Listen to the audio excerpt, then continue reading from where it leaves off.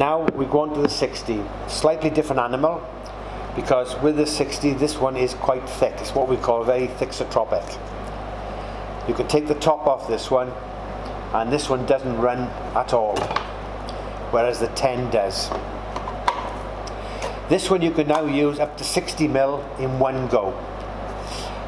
But you must do it in one go. What you cannot do is put on a percentage, wait for it to cure, and then put more on top. As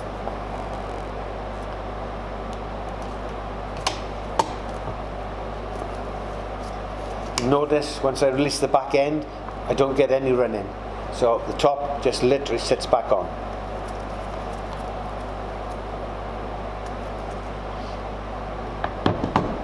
Again, we mix this one. A little bit harder to mix because it's so thick. But you've got your two colours again. This now is a distinct two colours. So when you're mixing it, you can now see exactly when you get a complete mix.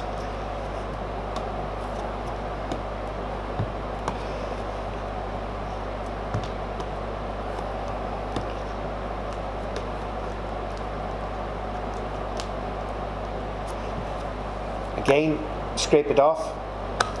And as you'll notice, we've got two colours. You need to get that back in and completely mix it back up. And as you can see, this is really thick, thick. You can use this overhead, you can use it on the side, you can use it underneath, and it won't slump. And what we're going to do is we're going to do a small repair If people are not so sure on how to do things, you can use things like perspex, and you can put the perspex into there, and then you can fill into the perspex.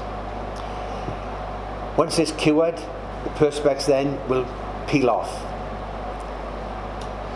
Before we use the 60, what we have to do is we have to prime. Now, you're okay to mix it if you want to like this, and then prime because you have about 40 minutes working time now at this temperature today. Once you put the primer onto your material, you must wait a minimum of 20 minutes.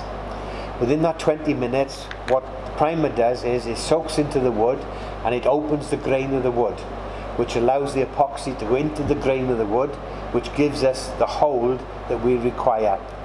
Because of that, we get we we will give a 60 year guarantee on the product but only if you use the primer first.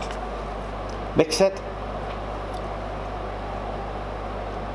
Making sure it's well mixed. You can tell when it's well mixed. You can see it's just again it comes into one color. And then once it's mixed you paint it on.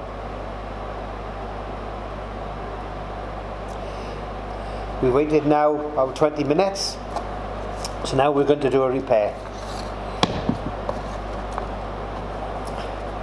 Take a lump and we insert it in. Take some more, push it in. Come down, clean the tool, get everything off the tool.